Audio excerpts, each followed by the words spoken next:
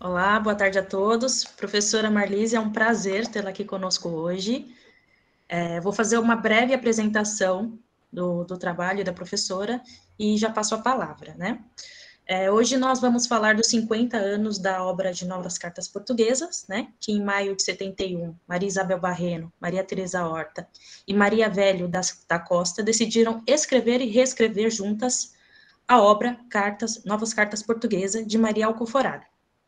Com a sua publicação em 72, as Três Marias, como eram conhecidas, viriam a sofrer inúmeras perseguições pela polícia da censura portuguesa, o PID, e por seus apoiadores.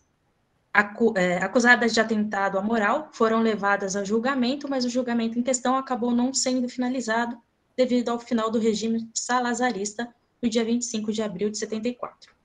Assim, as Três Marias foram absolvidas das acusações. É, a professora doutora Marlise Vaz Bride graduou-se em Letras pela Universidade de São Paulo em 73 e doutorou-se em Letras de Literatura Portuguesa pela Universidade de São Paulo em 82. Foi professora titular da Universidade Presbiteriana Mackenzie. Atualmente é professora doutora da Universidade de São Paulo, membro do Conselho Editorial da Universidade Estadual Paulista Júlio de Mesquita Filho, membro da Associação Nacional de Pós-Graduação e Pesquisa em Letras e Linguísticas, parecerista da Fundação de Amparo à Pesquisa do Estado de São Paulo, tem experiência na área de letras com ênfase em letras de literatura portuguesa, atuando principalmente nos seguintes temas: literatura portuguesa, literatura de autoria feminina, ficção contemporânea e discurso literário. Lidera desde 2012 o Grupo de Estudos de Literatura de Autoria Feminina, o GELAF. Professora Marlise, Dou à senhora a palavra. Seja bem-vinda. Bom, muito prazer em estar aqui com vocês.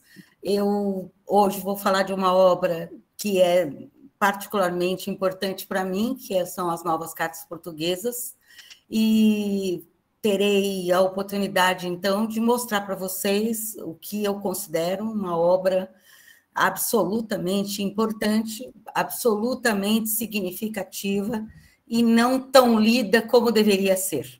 Então, eu passo, antes de mais nada, eu agradeço ao convite de vocês e passo a fazer uma pequena apresentação uh, que eu prefiro compartilhar com vocês para que vocês possam acompanhar melhor uh, o que eu vou falar. Só um minutinho.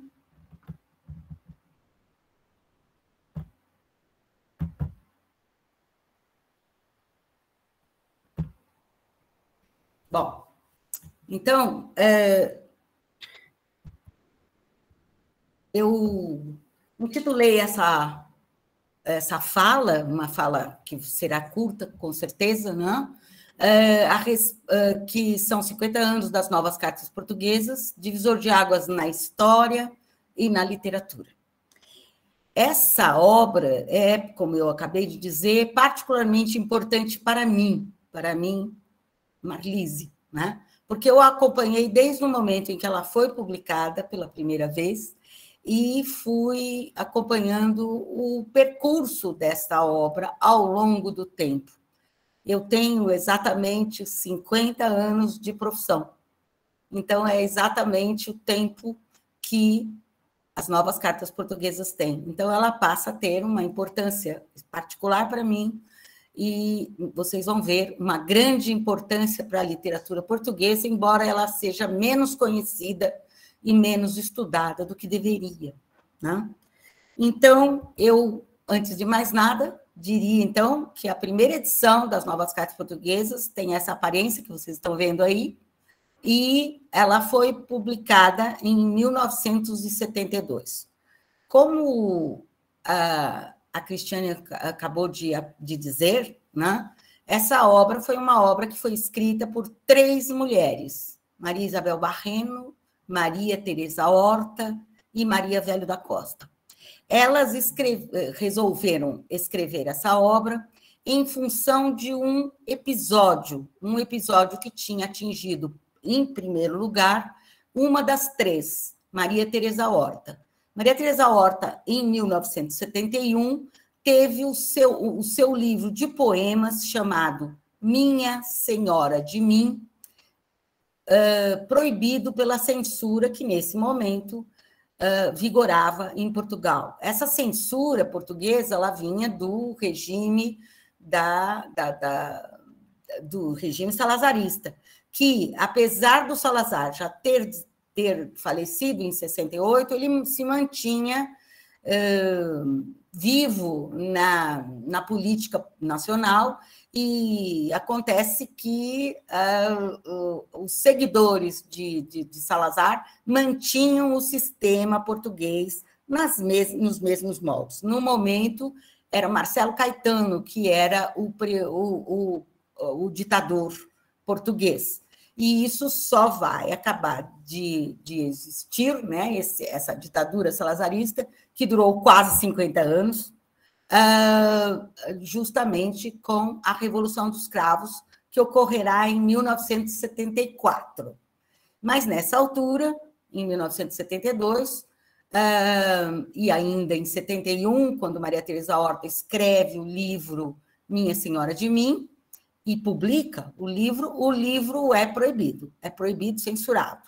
Ela não se conformava com essa proibição e, conversando com as duas companheiras de trabalho, de amizade, que eram a Maria Isabel Barreno e Maria Velho da Costa, elas resolveram apoiar a Maria Teresa Horta, que não se conformava com aquela censura. E, nesta altura do campeonato, ou seja, quando isso ocorreu, né, em 71, Maria Velho da Costa disse: Mas é um absurdo que uma, uma única escritora, como era a Maria Teresa Horta, escrevendo poesia, né, tivesse causado tanto, tanto reboliço para que pudesse seu livro ser proibido, censurado.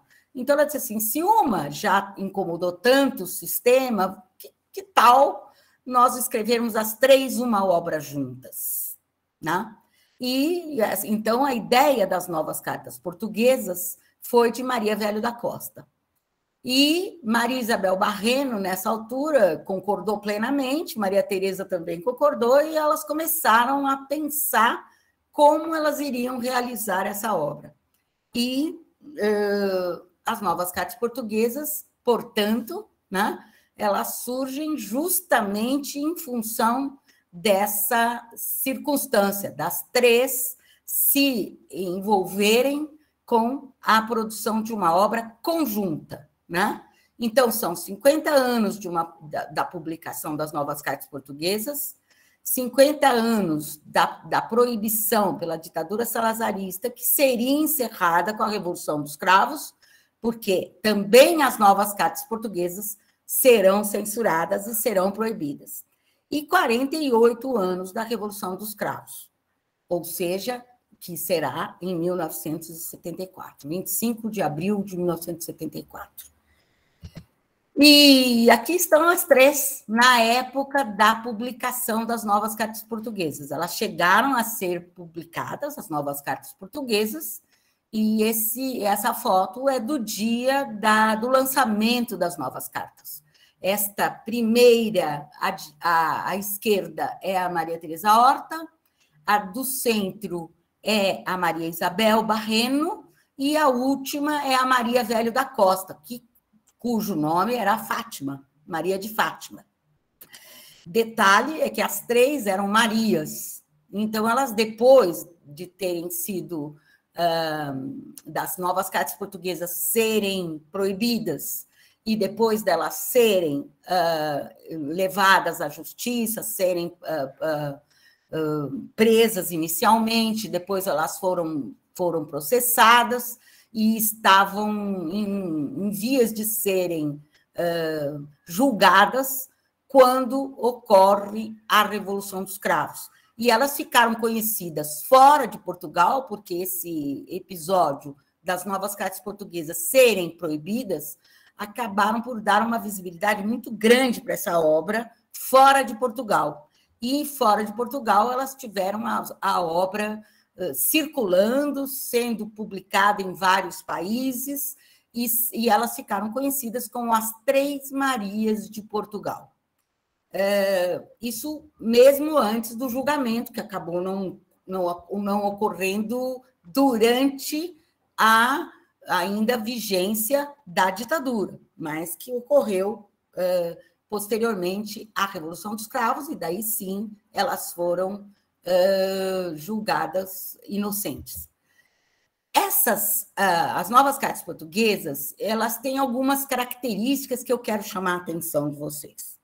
Em primeiro lugar, era um projeto conjunto, ou seja, as, as, as três resolveram fazer uma obra pensada, que é um projeto, é um projeto de obra, não é uma obra é, casual, é uma obra que tem um projeto e que foi realizado pelas três.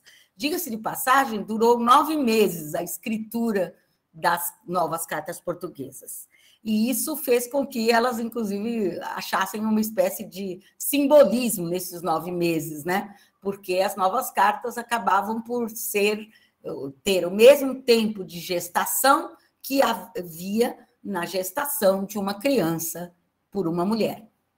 A, a segunda característica importantíssima é que ela é de autoria múltipla e anônima. Por que eu quero dizer com múltipla? Múltipla porque são três autoras. Isso era uma coisa já absolutamente inovadora, né? Quer dizer, não havia nenhuma obra publicada até então em Portugal que tivesse três autores juntos, né? Ou no caso três autoras juntas, né? E, um, portanto, era uma autoria múltipla. E, além disso, o detalhe é que ela era anônima. Por quê? Porque nenhuma delas uh, se responsabilizou particularmente por nenhum dos textos. Ou seja, todas assumiram a autoria de todos os textos que estão nas novas cartas portuguesas. E, e isso era uma atitude política, uma atitude política da maior importância, porque elas sabiam que havia essa possibilidade de as novas cartas portuguesas uh, uh, serem uh, um, uma produção que podia afetar particularmente a Maria Teresa Horta, que já tinha tido outras obras proibidas. Então, elas, a, a obra tinha essa autoria múltipla e anônima. Por outro lado, né, é, é uma obra de autoria feminina, porque as três são mulheres e era, elas queriam oferecer ao público a oportunidade de outras mulheres que sempre foram silenciadas serem trazidas à baila no conjunto das novas cartas portuguesas.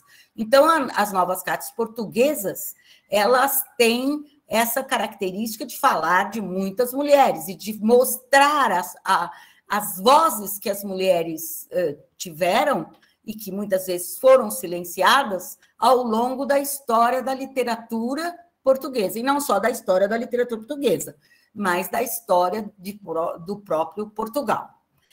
Por outro lado, ela é uma obra com uma tipologia textual absolutamente variada, ou seja, cada texto há cartas, há cartas, mas há também poemas, há textos de, outras, de outros tipos, há textos que são dissertativos. Há trecho, por exemplo, recorte de trechos de jornal, há notícias de jornal comentadas, há parte do, do, do próprio do próprio Código Civil português português que é retomado e está lá presente. Por, por, por acaso, essa parte é a que fala sobre as mulheres serem completamente uh, pertencentes aos homens, primeiro aos pais, depois, na falta desses, né, os maridos, depois os irmãos, na falta do marido, e assim por diante. Ou seja, nada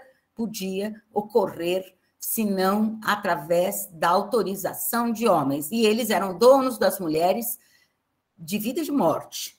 Isso era uma coisa extremamente grave e elas colocaram esse trecho uh, na sua obra. É, se há essa tipologia variada textual, com poemas, com contos, com trechos dissertativos, com cartas, etc., também há, um, obviamente, uma fragmentação, uma obra inteiramente fragmentada. E ela é uma obra que nós temos a impossibilidade de classificar como gênero literário. Não é um romance, não é uma antologia de cartas, não é uma antologia de poemas, não é isso, não é aquilo, não é nada disso.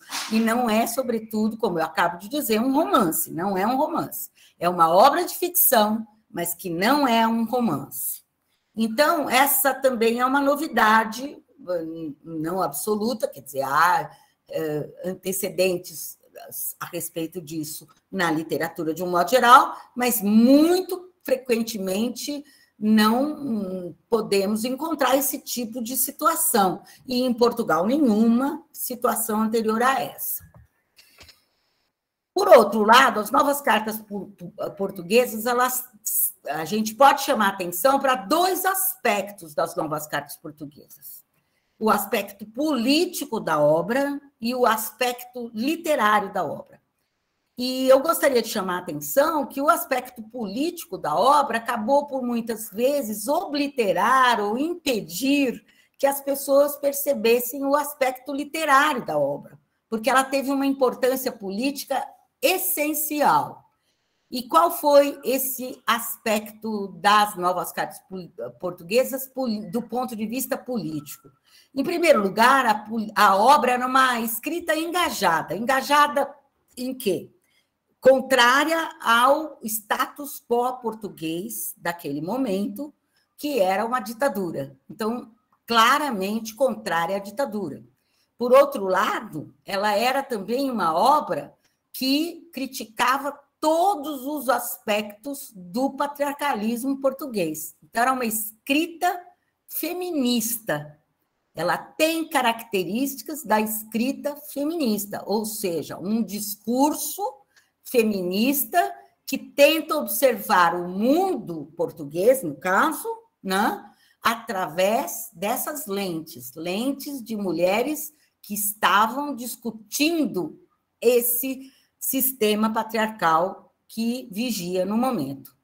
E, por outro lado, né, a obra tem um aspecto literário da maior importância. E esse aspecto literário é que eu digo que ficou um pouco obliterado pela importância política da obra. Né? Então, se essa obra, Novas Cartas Portuguesas, escrita pelas três Marias, pela Maria Teresa Horta, Maria Velho da Costa e Maria Isabel Barreno, ela preparou, ajudou a preparar os, o, a sociedade portuguesa, pelo menos uma parte da sociedade portuguesa, pelo menos aquela parte que era mais, digamos assim, tinha mais capacidade para pensar o mundo português, né? E eh, se ela ajudou, sem sombra de dúvida, a discutir os valores e a discutir a, a sociedade portuguesa desse ponto de vista, ela, ela foi o antecedente da Revolução dos Cravos, porque ela auxiliou com, discutindo os costumes da época a pensarem que podia ser diferente, que, o, que Portugal podia ser diferente daquilo que era naqueles últimos 50 anos, que foram os anos salazaristas. E o aspecto literário né, ficou em segundo plano um pouco, ficou em segundo plano, dada a importância do evento, uh, do evento político. Né? E no aspecto literário, a gente pode chamar, em primeiro lugar, a inovação. Né? Então, tanto a escrita de autoria feminina conjunta era um fato inovador, absolutamente inovador, a, o formato das novas cartas portuguesas, com essa fragmentação, com essa pluralidade de, de textos e de, de gêneros uh, literários, subgêneros literários presentes nas novas cartas portuguesas, né? E também a questão das, das relações dialógicas que se estabeleciam das novas cartas portuguesas com o restante da literatura portuguesa.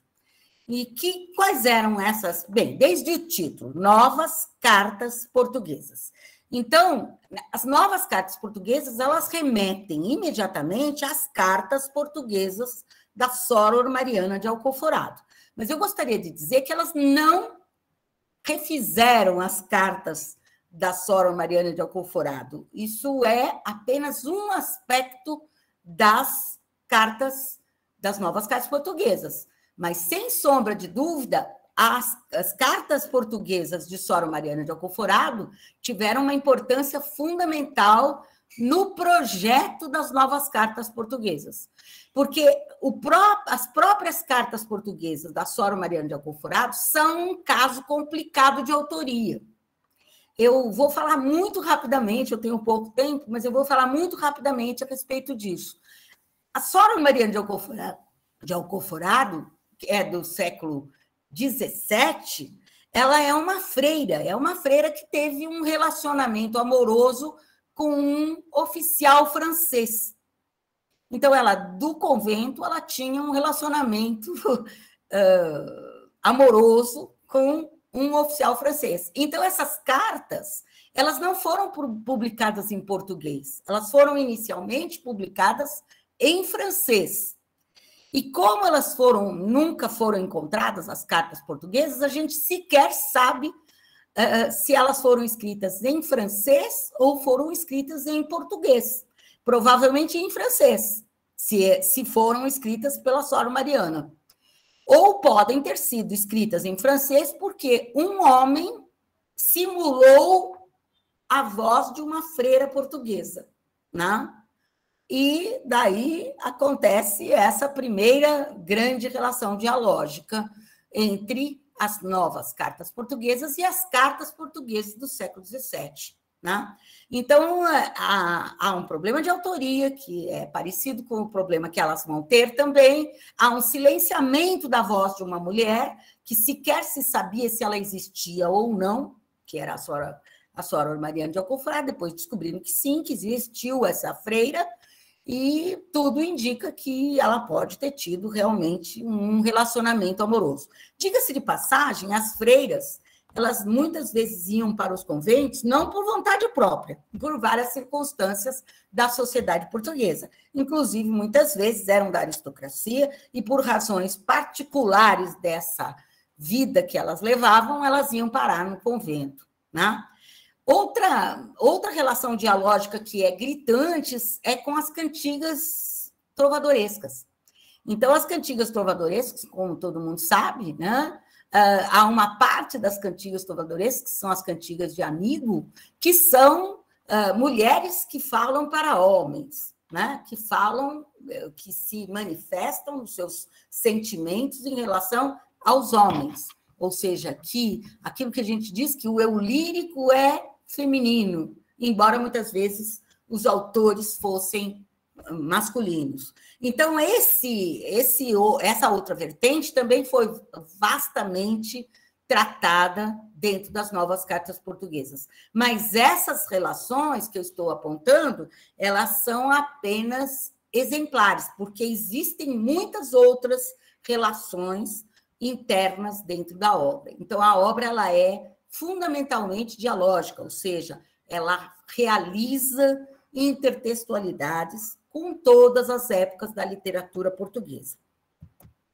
Uh, os recursos utilizados né, é, são variadíssimos. Né? Então, nós temos os recursos que são utilizados pelas novas cartas, da estilização, da paródia, a citação, como eu mesma já disse, por exemplo, cita o Código Civil Português, por exemplo, a intertextualidade e a intratextualidade. Talvez vocês conheçam todos esses procedimentos, mas são procedimentos extremamente uh, interessantes na construção de uma obra literária. Eu gostaria de chamar a atenção para a intratextualidade, porque elas uh, conversam entre si embora a gente não saiba quem, public, quem uh, uh, uh, de fato escreveu cada carta, né? ou cada trecho, ou cada poema, ou, cada, ou se responsabilizou por qualquer um dos textos que formam as novas cartas,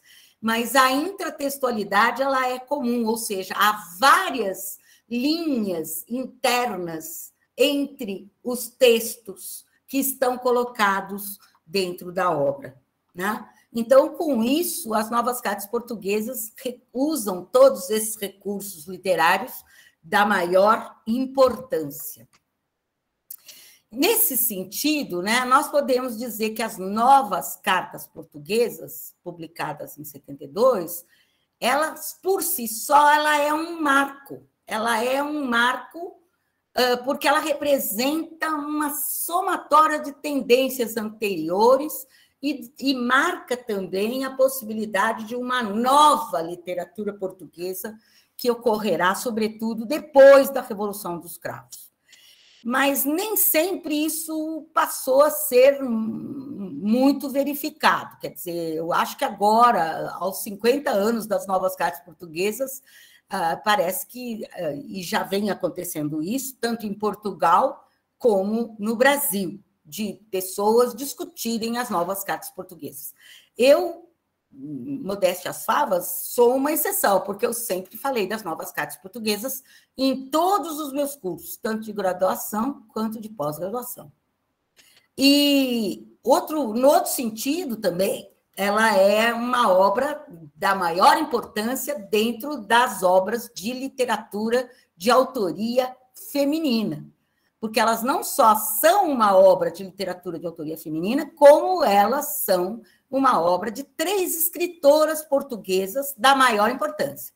Maria Isabel Barreno já tinha obra publicada, Maria Teresa Horta era, era grandemente conhecida, sobretudo, como poetisa, e Maria Velho da Costa, uma ficcionista também muito conhecida e muito importante para a literatura portuguesa. Então, todas as três eram já uh, uh, conhecidas na literatura portuguesa e eram autoras de importância dentro da literatura portuguesa. Então, essa obra, que é fragmentária, ela aproveita para fazer um painel de toda a realidade portuguesa daquela, daquele momento, daquele momento que eles estão, elas estão vivendo, rever o passado português também e sempre da perspectiva feminina. Então a questão feminina é central, a questão do como é que os problemas da sociedade afetam as mulheres também é central. E todas as mulheres que estão representadas dentro do texto são uh, mulheres uh, ou conhecidas e que da história portuguesa, ou então que faziam as atividades que as mulheres fazem sempre. Então, todas as atividades que as mulheres têm estão representadas dentro da obra. Eu diria assim que toda uma agenda de, da história portuguesa está representada nas novas cartas portuguesas. Por exemplo, a guerra, a guerra que estava ocorrendo nas colônias, as guerras coloniais. O que, que acontecia com as mulheres que ficavam, né, sem seus maridos, sem seus filhos, etc. Vejam a atualidade, inclusive, é, na época e a atualidade para todo, para todos nós sempre, né? Quer dizer, o que acontece na guerra com as mulheres, né? E com as crianças? E quem cuida delas? Quem é que fica na cidade, no país, etc. Né? E quem sai também agora, a gente pode falar, né? Que, que, também é um tema que aparece nas novas cartas portuguesas, a diáspora portuguesa. Como é que aqueles acontecimentos das, da, da, da história de Portugal provocavam né, a migração de portugueses para outros países, para outras realidades, para outros lugares. Vejam que a, a guerra também é um dos motores desse tipo de situação. Né? E, por outro lado, né, elas estavam muito preocupadas com o silenciamento das mulheres. Vejam que, desde o título, né, quando vão falar das cartas portuguesas da Sora Mariana, uma mulher silenciada. Né? Silenciada não só na sua fala, como na sua vida. Né? Era obrigada a ter uma vida diferente daquela que gostaria de ter, e assim por diante. Então, esses temas passam a ser extremamente sensíveis em relação a, a, ao temário, ao, a temática e ao tratamento que é dado nas novas cartas portuguesas a esse tipo de assunto. Né? Então, a obra passa a ser, sem sombra de dúvida, uma obra marcante, né? em que hum, todos os temas que eram possíveis serem tratados por elas, eles foram tratados em profundidade. Uh, quem está fazendo a leitura cuidadosa dessa obra ao longo do tempo está descobrindo que realmente isso ocorre, que isso não é uma coisa que eu estou falando superficialmente, é uma coisa que realmente ocorre, né? E as pessoas acabam descobrindo coisas, né? Uh, importantes a respeito da condição da mulher, né? Através dessa obra extremamente inovadora e extremamente importante uh, para a literatura portuguesa, ainda que não tão reconhecida e tão lida como deveria. Né? Uma das questões centrais da, das novas cartas portuguesas é a questão do erotismo. Ela está presente. Né? E a questão do erotismo feminino, a, o, a, o erotismo visto do ponto de vista das mulheres. Uh, é interessante né, que uh, quando os censores vão falar da obra, eles vão chamar atenção não para o potencial político daquela obra, mas vão escamotear o potencial político, chamando a obra para um plano de, de grandes absurdos, como nós vemos hoje. Ou seja, chamando a obra de pornográfica, chamando a obra de contrária à moral e os bons costumes, pura e simplesmente porque fala do corpo da mulher, do desejo da mulher, daquilo que a mulher tem direito a viver, né? E que muitas vezes elas não podiam não podiam ocorrer, né? Não podiam se manifestar. Então as mulheres ficaram muito conhecidas também por causa de discutirem o erotismo feminino. Por outro lado, a censura que vai se impor, né, ela vai se impor, impor justamente com esses argumentos, que era porno, a obra era pornográfica, era um atentado à moral e aos bons costumes. Ou seja, né, que a obra, que também já tinha ocorrido isso anteriormente com Minha Senhora de Mim, da Maria Teresa Horta, são os mesmos tipos de argumentos que são usados. Por quê? Porque a mulher que pode viver a sua plenitude, ela põe em dúvida determinados pilares do próprio patriarcalismo. Sobretudo num patriarcalismo conservador, conservador, e de um patriarcalismo que é repressor da representação da mulher, da mulher que se representa a si mesma, que discute os seus próprios valores, que fala do seu próprio corpo e assim por diante, né? E que se sente com direito a prazer, se sente com direito a viver intensamente as, su as suas paixões, os seus, o seu próprio corpo, né? Então, esses temas todos, como eu disse anteriormente, eles formam uma grande agenda, né? É uma a, a variada tipologia textual e discursiva, ela é para dar conta de todos os temas importantes da situação que estava em questão, né?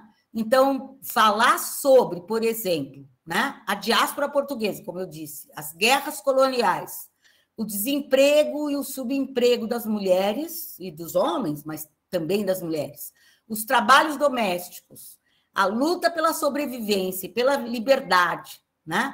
Todas essas questões foram tratadas. E também outras, a maternidade, o aborto, as relações amorosas, os crimes contra a vida de mulheres, as mulheres que são abandonadas por seus companheiros.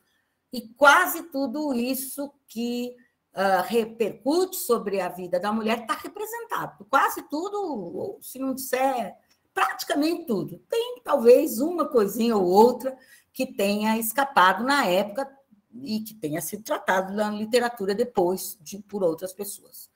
Mas uh, elas tomam também como signo importante a, a, o nome Mariana. Então, elas vão todos os textos, em geral, de um modo geral, a não ser no caso de pessoas conhecidas, figuras históricas que tinham outros nomes, mas quase todas têm uh, alguma relação com Mariana. Mariana, em várias funções sociais, etc. Marias, Anas, Anas Marias, né? E, e, variações sobre o mesmo tempo, outras Marias com outros nomes, e assim vai aparecendo um, um, um signo nominal né, que acaba por representar de uma maneira forte né, uh, um tipo que é a mulher, um tipo não no sentido de redução, mas no sentido de que a mulher é sempre uma Mariana né? Que a mulher é sempre alguém que está numa condição de subalternidade. Eu comparo né, essa situação com Morte Vida Severina, que Severina né, é um adjetivo para vida, né, mas Severino é um nome próprio. Né? Então, adjetivo, Severina sai de Severino.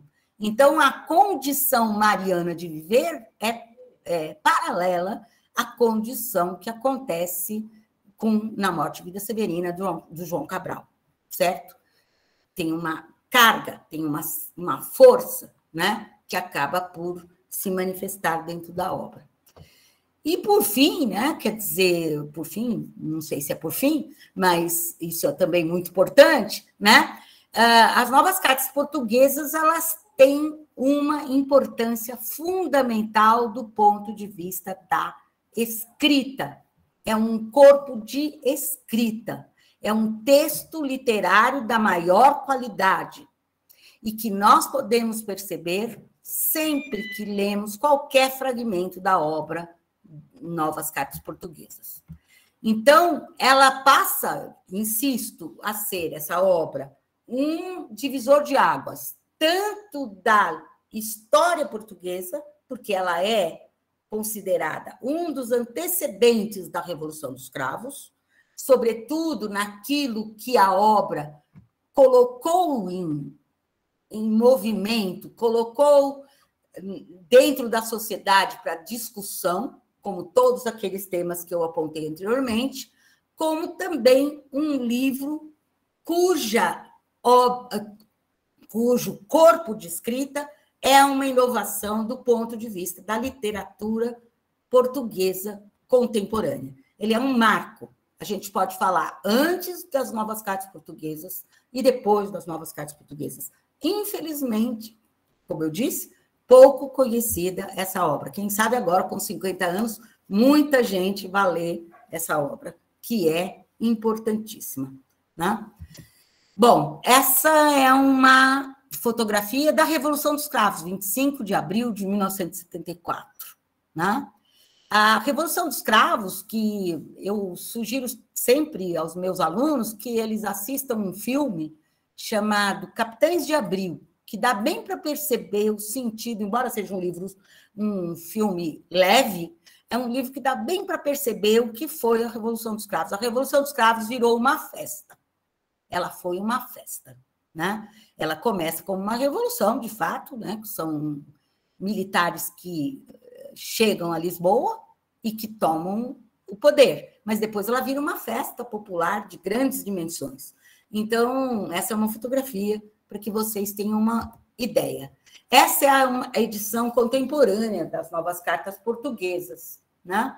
que é a edição de, 19... de 2011, organizada pela Ana Luísa Amaral. Essa edição ela tem uma, uma importância muito grande, porque ela foi revista pelas Três Marias.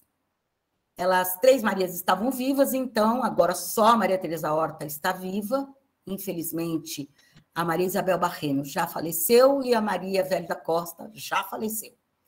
Então, nessa altura, elas estavam todas vivas e elas corrigiram o texto. Elas corrigiram. É, então, nessa é, hoje, o grupo que organizou que organizou essa nova edição, a equipe, né? Portugueses chamam de equipa, a equipa que organizou as novas cartas portuguesas, revistas pelas autoras, ela já sabe quem escreveu cada texto. Ela já sabe. Só que elas tiveram que assinar um, termo, um compromisso, porque as três prometeram que não iriam revelar de quem eram os textos, de cada um, cada uma quem tinha escrito o quê, até o momento das três terem já falecido. Então, nós estamos sendo ainda garantidos, essa, esse anonimato está sendo garantido pela alegria de termos Maria Teresa Horta viva entre nós. Tá? Então, nesse caso, né, elas já sabem, essa equipe já sabe que texto foi escrito por quem, porque eles, elas sabem quem foi que corrigiu cada texto. Né? Então, quem, quais os textos foram corrigidos pela Maria Velho da Costa, quais os da Maria Isabel Barreno e quais os da Maria Tereza Horta. Mas elas nunca revelaram e nem a equipe revelou. Então, isso também é importante. Então, o próprio anonimato que elas se impuseram, ele tem também uma significação simbólica muito grande, porque era uma, uma, uma atitude de política de preservação de cada uma delas diante de um regime ditatorial terrível. Né? Então, isso passa a ser fundamental. Essa é a Maria Isabel Barreno, 1939-2016, uma querida. Essa é a Maria Velha, a Maria Teresa Horta, que está viva. Essa fotografia foi tirada em São Paulo, quando ela veio falar na USP. E essa é a Maria Velho da Costa, né? 1938, 2020, que morreu agora, faz pouco tempo, já depois do começo da pandemia. Então, essas são as três Marias. Eu vou ler só um trechinho da primeira carta 1, que é o primeiro texto do livro, para que vocês sintam o gostinho né, do texto. Então, começa assim: pois que toda literatura é uma longa carta a um interlocutor invisível, presente, possível ou futura paixão que liquidamos, alimentamos ou procuramos. E já foi dito que não interessa tanto o objeto, apenas pretexto, mas antes a paixão. E eu acrescento que não interessa tanto a paixão, antes pretexto, apenas pretexto, mas antes o seu exercício. E foi exatamente o que elas fizeram. Vejam que ela começa em média res, pois que toda a literatura começar em pois que alguma coisa aconteceu antes, né? A estrutura do texto, né? Então elas se inserem no meio da, do, da coisa toda, né? E depois elas vão escrevendo com essa qualidade de texto, vejam a qualidade de texto, vejam que é difícil de entender isso, se assim a primeira leitura, né? E depois, com grande qualidade, elas vão produzir esse exercício. Qual é o exercício? É o exercício da escrita, é o exercício da convivência que elas tiveram, é o, é o exercício da solidariedade entre as mulheres, é o exercício de dar voz às mulheres que estiveram sempre caladas durante muitas oportunidades ou sempre dentro de uma estrutura de sociedade patriarcal complicada, como era a portuguesa da época. Então, essa é, assim, digamos, de uma maneira muito simples, com o tempo que eu tinha para falar com vocês, uma apresentação das novas cartas portuguesas. Vamos ver se eu consigo tirar isso aqui.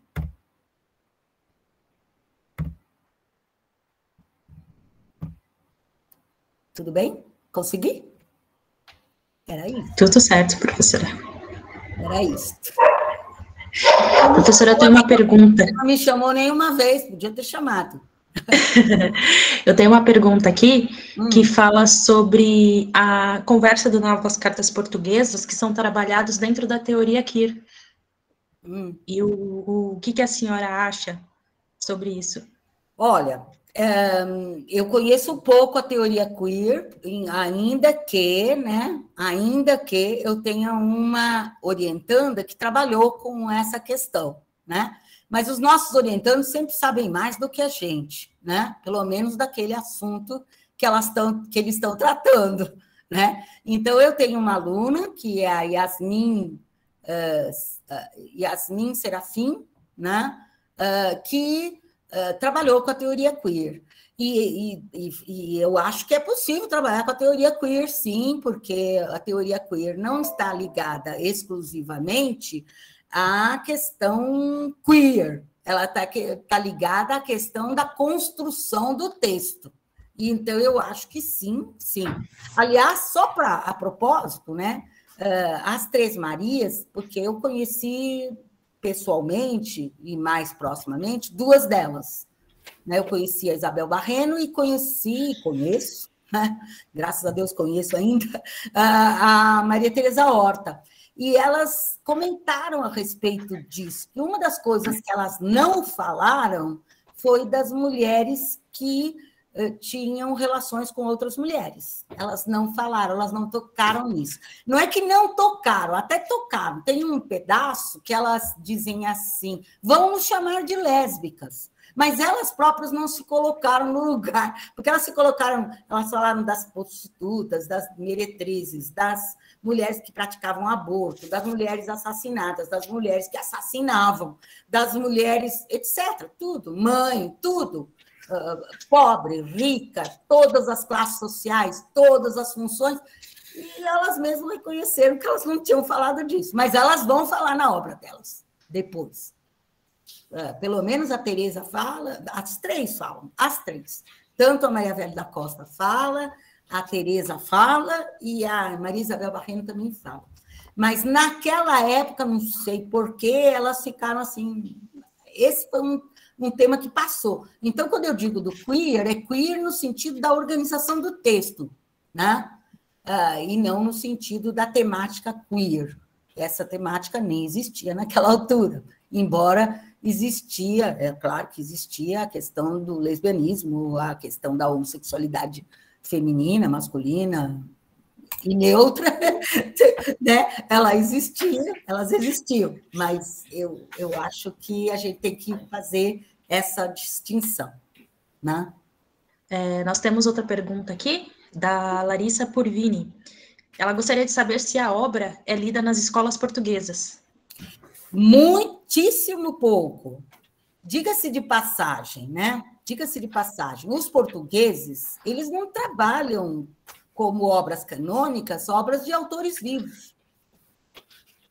Obras canônicas para eles são obras de autores que já faleceram, inclusive na universidade. Né? Então, por exemplo, grande parte de tudo que se discute de literatura portuguesa contemporânea no Brasil, uh, para eles é um verdadeiro sonho. Mas se a gente olhar bem, vamos lá fazer um exercício nós aqui, né? Uh, eu vou falar uma coisa meio difícil, mas vocês estão gravando, o que, que eu vou fazer, né? Uh, quais autores da literatura brasileira que a gente estuda e que estão vivos? Né? Quais? Muito poucos, não é? Não é verdade? Muito poucos mesmo. Eu posso garantir que são poucos, né? É, eu vejo, por exemplo, pelos programas da, da, literatura brasileira na USP, eu não sei como é nos outros lugares, eu sei em alguns lugares de pós-graduação, sim, acontece de haver obras de literatura brasileira contemporâneas, inclusive hum, de autores que nem são canônicos, mas na graduação, muito pouco. Então, em Portugal, eles também têm isso. Até quando a gente fala em literatura contemporânea, para eles é diferente porque eu, eu me lembro de falar em literatura contemporânea, para mim, contemporânea vem dos anos 70 para cá. Para eles vem do final do século do, do, do final do século XIX para cá. Para eles, é, é, porque eles sim, eles têm oito, nove séculos, agora nove, nove séculos de literatura. Então, eles têm uma outra visão. E no nosso caso, nós estamos afastados. Então, como nós estamos afastados, a gente não entra no burburinho da briga, dos, dos amiguinhos desse, dos amiguinhos daquele. A gente fala da obra. Ah, mesmo quando a gente sabe algumas fofocas, como eu sei, né, literárias, e algumas pessoas sabem, a gente não, não tem tanta intimidade e está longe, pode até falar com certa tranquilidade a respeito das coisas. Né? Então, o mar é muito útil para nós, o Oceano Atlântico, para os brasileiros. Então, grande parte da literatura contemporânea, e inclusive as novas cartas portuguesas, ou as obras da, da Teresa, da, da Isabel e da, da Fátima, têm sido estudadas no Brasil mais do que lá. Mas se a gente fizer o contrário, também vai acontecer isso. Né? Quem são os autores contemporâneos, o Rufato, etc., que é estudado aqui? E lá eles são. Certo? Por quê? Porque certo. Isso ocorre, são problemas que a gente reconhece. Né? Agora, eu não sou professora de brasileira, quando eu dou literatura brasileira, eu também acabo caindo nos mesmos. E a maioria já morreu, né? Infelizmente, né? Por causa das próprias circunstâncias de eu não conhecer toda a literatura portuguesa brasileira contemporânea, né? Professora, o Fernando Magalhães, ele quer fazer uma pergunta? Uhum. É, é, boa noite, professora. Boa noite. É, naqueles anos 70, quando a, as cartas portuguesas foram escritas, né? Como é que se deu a, a porque a revolução dos cravos foi muito marcada pelo socialismo, né? Uhum. Qual, qual, a importância do socialismo dentro da, das cartas portuguesas e da contracultura? Olha, é, eu até diria que mais do que socialismo, uh, os, desde os anos 40, quando começa o neorrealismo português, as duas grandes forças de oposição à ditadura eram o socialismo e o comunismo. Hum. Eram as duas grandes forças. E elas continuaram sendo essas forças até 74. Mas é claro que ela não era generalizada para toda a sociedade portuguesa. Eram, eram alguns, digamos assim, setores, inclusive os mais intelectualizados, de vez em quando, é que tinham acesso a isso. Claro que também havia gente. Ah, não se esqueçam que Portugal nunca teve uma grande indústria. A indústria portuguesa, até hoje, a industrialização portuguesa é muito pequena. Então, uma classe proletária, no sentido estrito, ela é pequena. Ela é pequena, a classe proletária portuguesa. Né? Não pobre. Isso tenha muito lá demais. Mas eu estou falando de classe, como classe organizada. Então, é, o, tanto o socialismo como o comunismo, eles eram muito uma atitude de, de oposição ao regime uh, de direita do, do, do, do Salazar. Né? Quanto à contracultura, também eram só algumas poucas pessoas que tinham acesso a isso. Né? É, e, em geral, é, pessoas bastante, bastante bem informadas. No caso das três, por exemplo, elas sabiam exatamente o que elas estavam fazendo em 68, quando há maio de 68 em Paris. Elas sabiam exatamente o que estavam fazendo. Por quê? Porque elas eram intelectualmente é, pessoas que tinham formação intelectual alta e porque elas eram jornalistas, ah, escritoras, e, portanto, elas tinham acesso ao que estava acontecendo fora de Portugal. Mas o grosso da população portuguesa estava alijada de qualquer compreensão, inclusive do, do, do processo revolucionário que vai acontecer em 74. Né? Estava completamente alijada. Era um, tinha quase 80% da população analfabeta em Portugal. Vejam que hoje tem quase 100% de alfabetizados. Se não tem 100%, está muito perto, é traço o que não tem de alfabetização lá, certo? Então, era, é uma coisa muito particular. Você, você entendeu, Fernando? É uma coisa muito particular. Uh, essas pessoas, por exemplo, no caso da Maria Teresa Horta, da Maria Velho da Costa e da Maria Isabel Barreno, elas conheciam Simone Beauvoir, conheciam todo o pensamento existencialista, conheciam a contracultura, conheciam o que estava acontecendo nos Estados Unidos, conheciam tudo isso. Ah, mas elas eram uma elite intelectual. A elite intelectual tinha acesso a essas informações. Agora, a população portuguesa vivia uh, muito, de uma maneira muito empobrecida, intelectualmente, inclusive. Isso é importante que se diga. Então, elas foi nesse nicho que deu certo, que as novas cartas influíram discutindo valores, por exemplo, falar em falar em, em maternidade, aborto, etc. Né? Vocês vejam que até hoje é problemático aqui no Brasil. Né? É. Então, essas coisas ocorriam. Tá. Não sei se eu respondi. Respondeu, professora. Obrigado, viu? De nada. Professora, não sei se cabe mais uma pergunta rapidinho aqui. Cabe quantas já... vocês quiserem, são vocês Sim. em horário, eu não. É, como o erotismo trabalha tanto para a libertação do desejo da mulher, quanto para a libertação da mulher como ser político na obra? Ah, eu, eu, eu acho que totalmente, totalmente, né?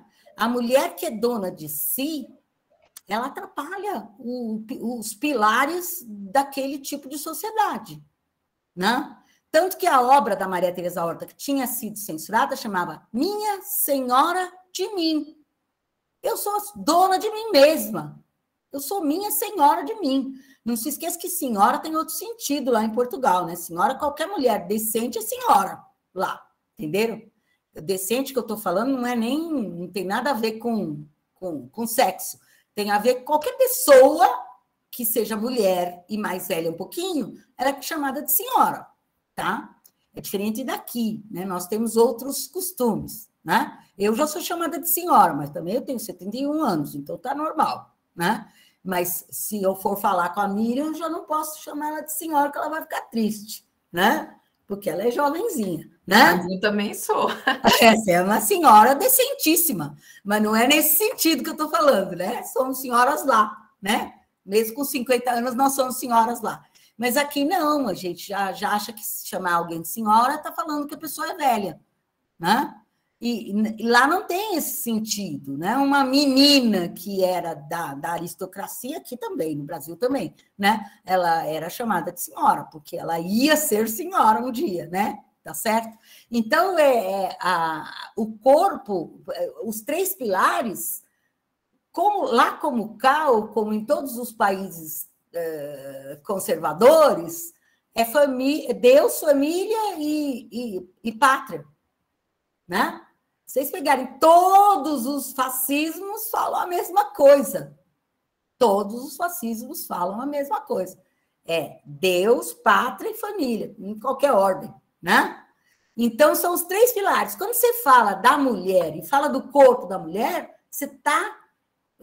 E elas falam de tudo isso. Elas falam também da religião, não de Deus, não contra Deus, mas contra o Deus tornado fechado num convento, num, numa religião estratificadora. Não é o Deus criador, mas é o Deus dentro desse contexto. Né? Pátria também, eles, elas estão questionando o que é a pátria hoje lá, né? o que era a pátria naquele momento lá. Isso é pátria? Mandar os nossos filhos morrerem na guerra, matar os nossos os outros que estão lá nos, nas colônias, isso é, é, é é pátria, né? Que raio de pátria é essa, né? Então eles estavam, elas estavam questionando, e estavam questionando a condição da mulher. E o corpo da mulher é revolucionário. Tanto é que a Simone Beauvoir diz assim: cuidado, porque qualquer coisa que ocorra há um retrocesso para as mulheres. Antes de tudo, o retrocesso é para as mulheres. Aqui no Brasil, a gente poderia dizer, é para as minorias. Mesmo que mulheres sejamos maioria, nós somos uma minoria do ponto de vista antropológico, né? Certo? Então, é mulher, negro, índio, uh, gay, eu vou falar general, genericamente, mas pode ser trans, etc, etc. Vejam, toda vez que acusam, né, ah, de uma maneira forte esses segmentos, é porque está tendo, havendo um retrocesso, né? E no caso lá não era nenhuma questão de retrocesso, já estava há muito tempo esse retrocesso e elas estavam tentando eh, avançar, né? Estavam num momento de ascensão.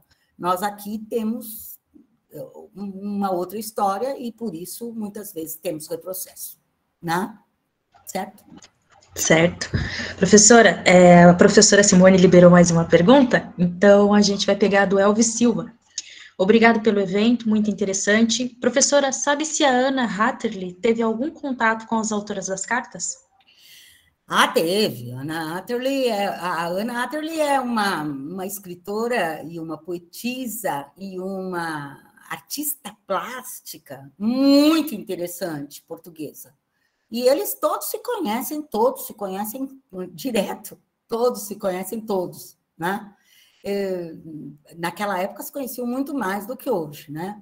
Eu até brincar, brinquei outro dia com os meus alunos, os alunos do meu grupo, falando assim que em Portugal, né, a intelectualidade se encontrava no metro, porque lá não é metrô, é metro, né? E eles têm a mesma ideia em relação ao Brasil, eles acham que todo mundo conhece todo mundo, né? E a gente não conhece todo mundo. Eu me lembro da Maria Tereza Horta falando assim: Ah, Marlise, você. Você não, porque ela não fala você, ela fala com, com, com segunda pessoa, etc. Tal, mas eu vou falar em brasileiro, né? Então ela falou assim: Você leva o livro Os Anjos para o Ney Mato Grosso? Eu falei: Posso levar, né? Posso levar, só que se eu vou entregar ou não, isso é outra conversa. Como é que eu vou entregar para o Ney Mato Grosso um livro da Maria Teresa Horta naquela época, né? Hoje era capaz de ser mais fácil, mas naquela época era totalmente impossível. Ele era o, eh, uma pessoa que gente não chegava perto, né? Eu, eu posso levar. Daí brinquei com ela, falei, olha, escuta, vocês não têm ideia do que é o Brasil, e eles não têm, né? Muitas vezes. Não é que eles não saibam geografia, não é isso. É assim como quando a gente fala, olha, a, na África é assim. Que África? Quantas Áfricas existem? Quantos países? Quantas culturas? Quantas etnias? Né? E a gente fala assim, como se fosse um todo. Né?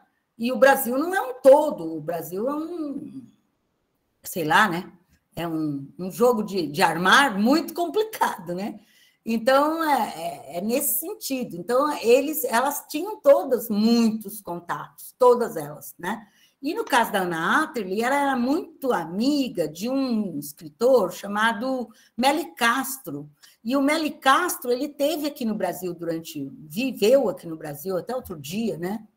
Não faz muito tempo, ele infelizmente faleceu. E o Meli Castro era também muito amigo de Teresa Horta. Então, sabe, eles todos se conhecem entre si, né?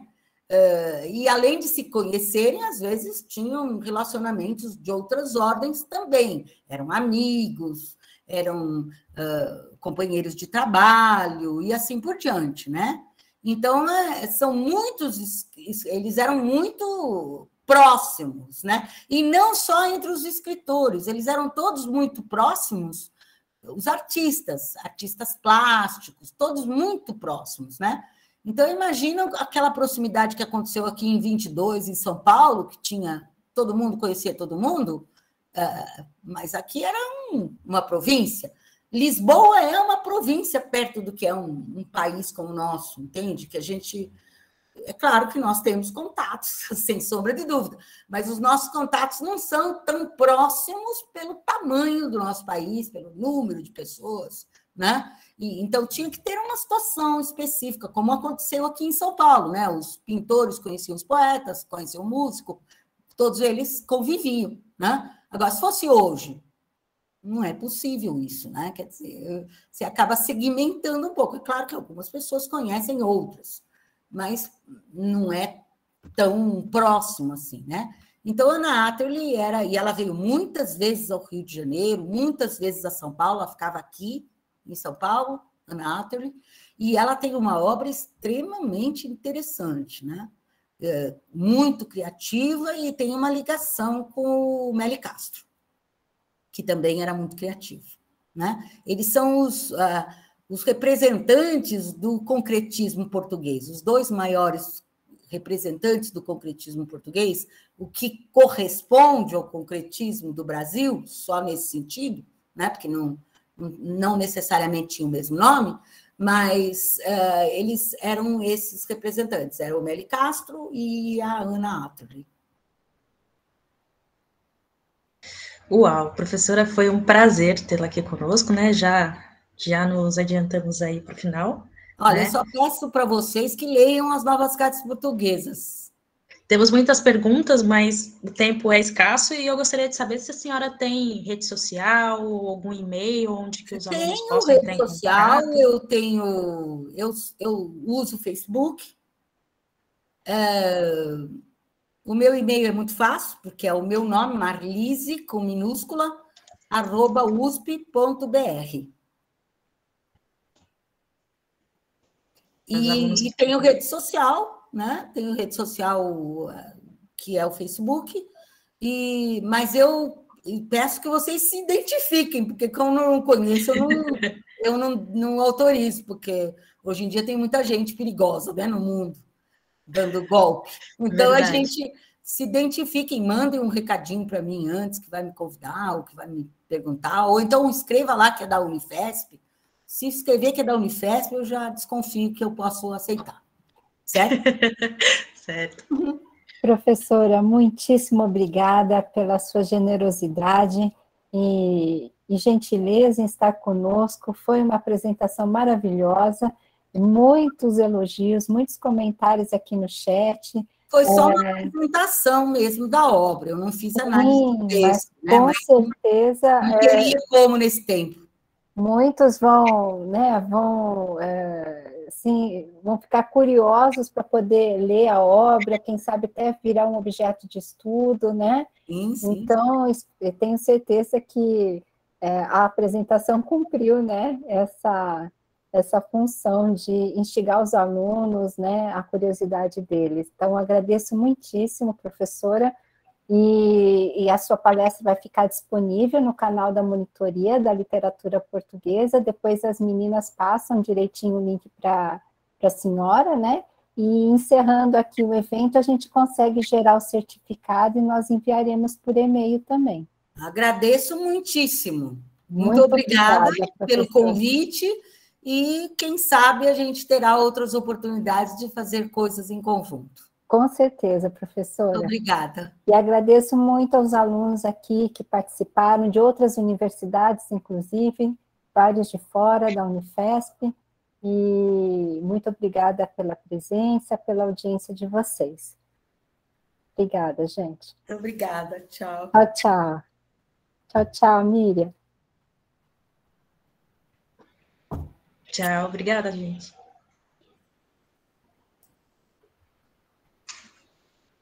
Muito obrigada, viu, gente? Muito obrigada.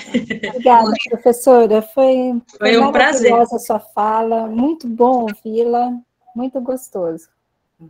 Espero que tenha feito o efeito que a gente queria, né? De apresentar a obra. Ah, com certeza. E na minha disciplina os alunos leram, então com certeza eles puderam aproveitar muito da sua apresentação. Ah, se você tivesse me dito isso, talvez tivesse feito outra coisa. Você, é, mas é que como o evento é aberto, a gente Professora Simone. Ter... Oi. Encerra a gravação, por favor. Ah, eu, eu pensei que tivesse Depois encerrado. vocês dão uma cortadinha nesse